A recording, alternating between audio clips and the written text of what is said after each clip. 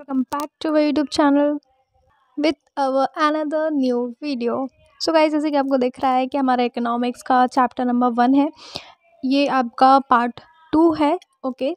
तो आपको टाइटल में नीचे दिख गया होगा ऑल्सो सो हमारा फैक्टर्स ऑफ़ प्रोडक्शन ख़त्म हो गया था और एक इंपॉर्टेंट बात, यार फ़र्स्ट व्यूअर हो सो प्लीज़ लाइक कर देना चैनल को सब्सक्राइब कर लेना और बहुत सारे शेयर कर लेना और जो लोग रेगुलर व्यूअर्स हैं, उनके लिए भी यही है। बस सब्सक्राइब नहीं करना है सब्सक्राइब रहने देना है।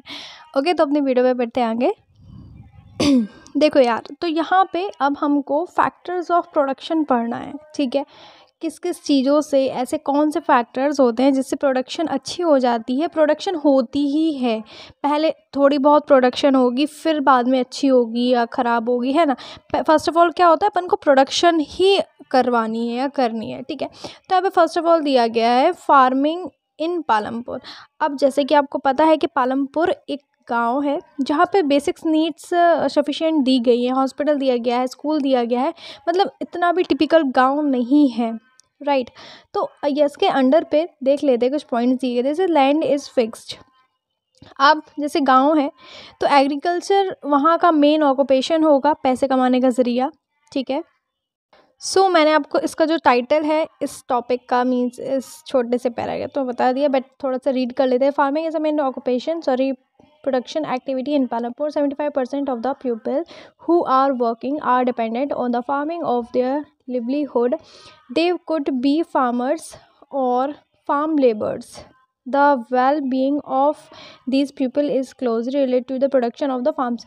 मतलब यहाँ पे mostly seventy five percent people यहाँ पे वर्किंग से फार्मर किसानी करते हैं और जो twenty five rest of twenty five percent हैं यहाँ के लोग, या तो वो कुछ और काम करते होंगे, दूध बेचते होंगे, या कुछ भी करते होंगे। गाँव के अकॉर्डिंग आप थोड़ा इमेजिनेशन कर सकते हो कि कैसे यहाँ पे होगा, ठीक है?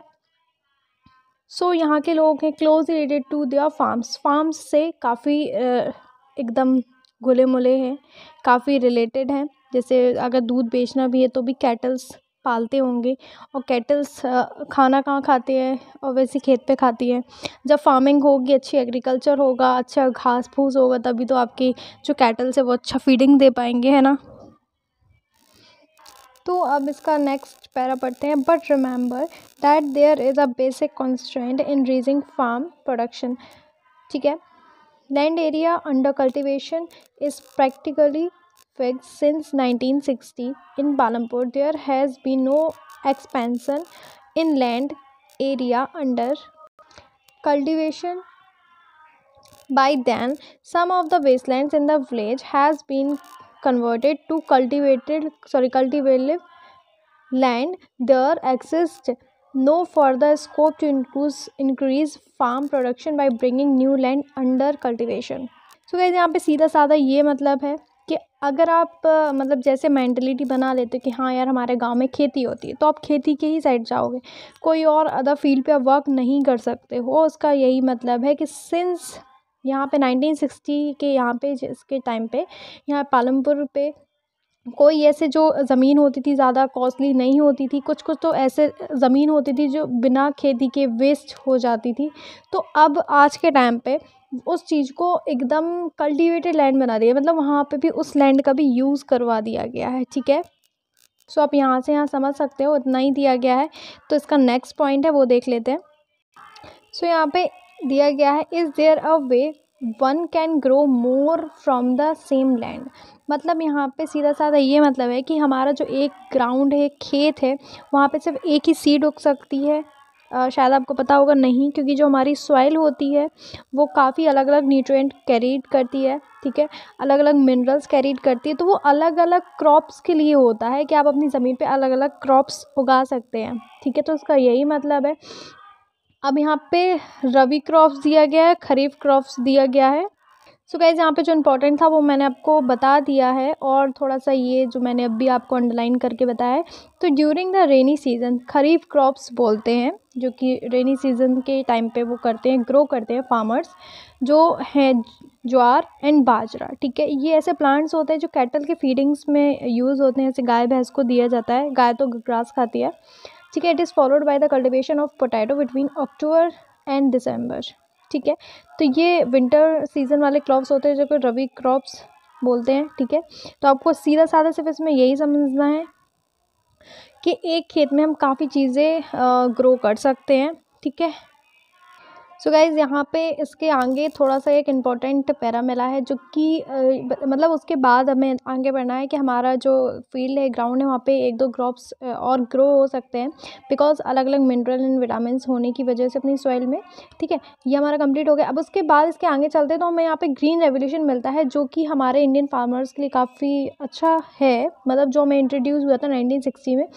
तो देखो इंट्रोड्यूस किया हुआ था the farmer of so, the farmer to cultivation of wheat and rice using high yielding varieties, जिसको एच वाई वी एस के नाम से जानते हैं of seed compare to traditional seeds ठीक है? तो आप ये पढ़ लेना, इसमें ऐसा कुछ नहीं दिया गया वही उसके बारे में दिया गया है। ठीक है? ऑल्सो गाइज़ आपने अभी देखा कि एच वाई वी जो हमने ग्रीन रेवेशन में पढ़ा है तो जब वो हाई लेवल का दिया गया है वैरायटी दी गई है लिंक के लिए, खेती के लिए तो उसमें देखो पेस्टिसाइड पेस्टिसाइड्स डाले आएँगे जैसे कीट, कीटाणु होते हैं, वो मर जाएँ, जिसके लिए आपके क्रॉप सेफ़ रहें। ठीक है तो ऐसे ऐसे हायर चीज़ें उसमें यूज़ की गई हैं, ठीक है?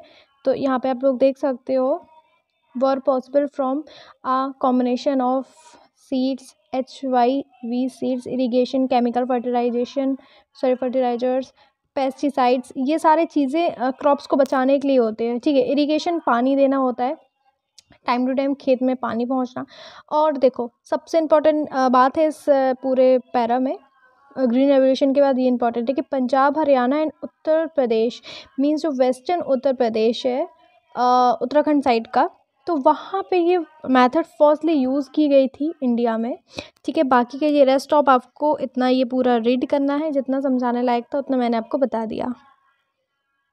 सो गाइज़ हमारा यहाँ पे थर्ड नंबर पे दिया गया है the will the land sustain sustain तो यहाँ पे इसका मीनिंग आ जाता है keep going over a time और कंटिन्यूसली गोइंग मीन्स जैसे हमारा खेत है तो उसमें कोई पेड़ लगे हैं मैंगो के या फ्रूट्स के तो वो बरसों से चलते आ रहे हैं यार। अपना जो वो मैंगो का पेड़ है, वो अपन को मैंगोज देते आ रहा है और जिसके अंडर पे है, वो उसको सेल करते आ रहा है। तो यार देखो उसका लैंड है कीप डूइंग ऑन वर्किंग ठीक है, यही इसका मतलब है।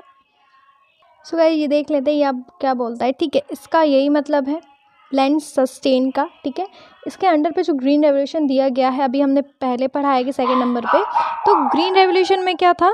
कि हम अच्छी अच्छी टेक्निक्स चला रहे हैं अपनी खेत के लिए, जिससे हमें क्रॉप से अच्छे अच्छे मिल जाएँ, ठीक है?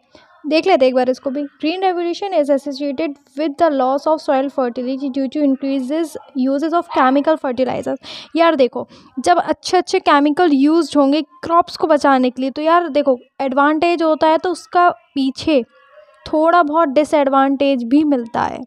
ठीक है? हमें फ़ोन से पढ़ने में बहुत ज़्यादा बेनिफिट है। हमें तरह तरह की चीज़ें मिल जाती हैं यूट्यूब पे।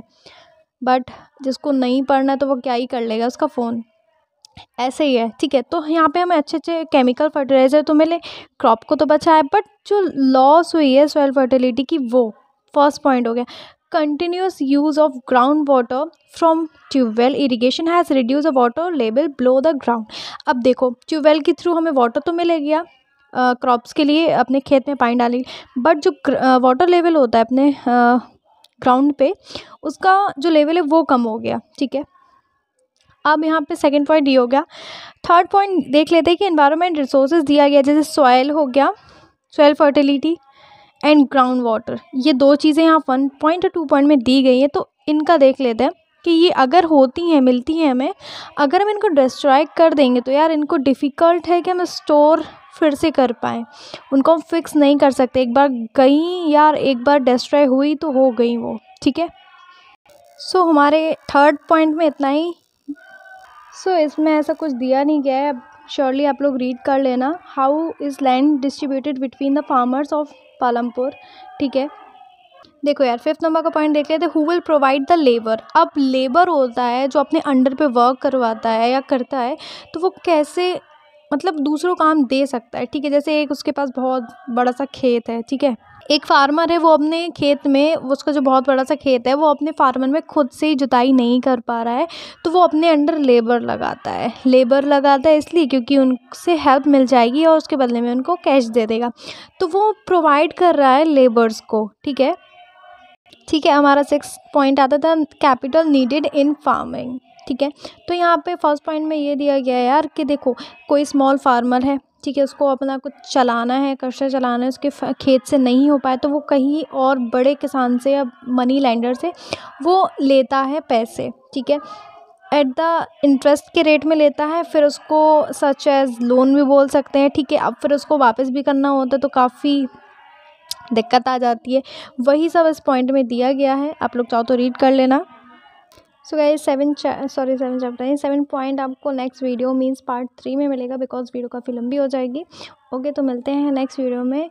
और वीडियो को लाइक करे बिना बिल्कुल मत जाना और प्लीज़ अगर वीडियो अच्छी लगी तो प्लीज़ जल्दी से शेयर कर देना। Thank you thanks for watching